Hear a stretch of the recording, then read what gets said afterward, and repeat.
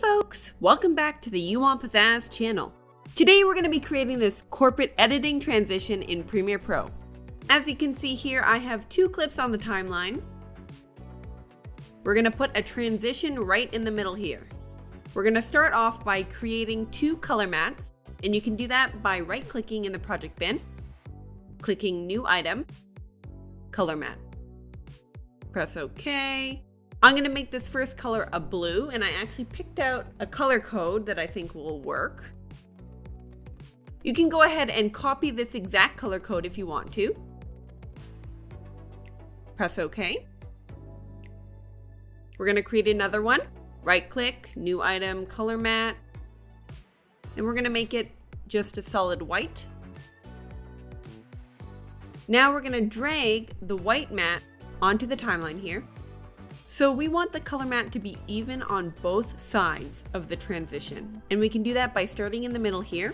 We're gonna move over six frames by clicking the right arrow on your keyboard. One, two, three, four, five, six.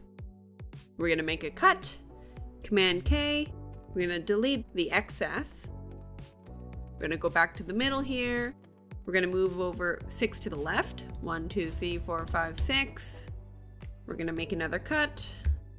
We're gonna delete it. Great. Make sure the white matte is selected and under effect controls, we're gonna change the opacity to 30%. We're gonna also make some position keyframes.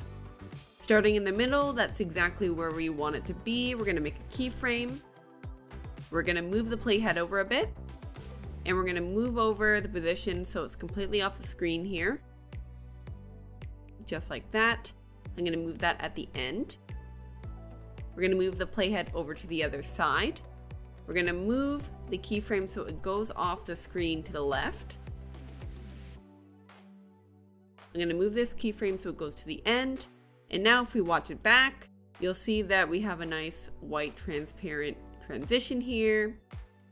Now we are going to select the white matte, hold down option on your keyboard and drag up to duplicate the layer.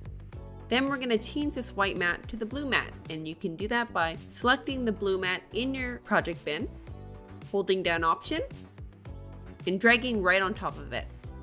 With the blue matte selected, we're going to change the opacity to 90, and then we're going to just drag in the keyframes a little bit. So we're going to go to this end here, and we want to move over by one. We're going to drag this keyframe over. We're gonna go to the end of the blue matte here. We're gonna move over inside one and we're gonna drag this in.